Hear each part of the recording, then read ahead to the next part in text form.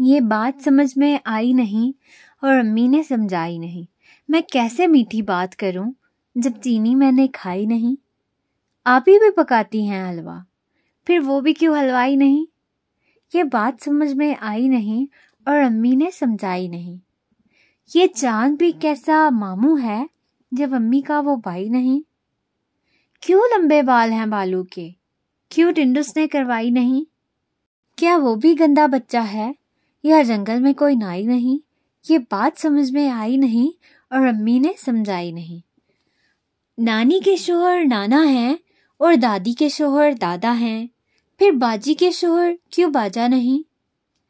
ये बात समझ में आई नहीं और अम्मी ने समझाई नहीं। जब नया महीना आता है तो बिजली का बिल आ जाता है। हालाँकि बादल बेचारा ये बिजली मुफ़्त बनाता है। फिर हमने अपने घर बिजली बादल से क्यों लगवाई नहीं?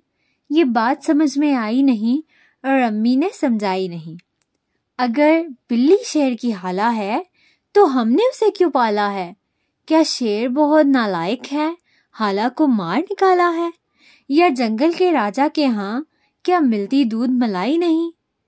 ये बात समझ में आई नहीं और अम्मी ने समझाई नहीं।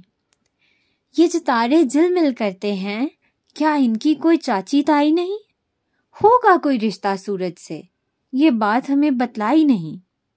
ये चाँद भी कैसा मामू है, जब अम्मी का वो भाई नहीं?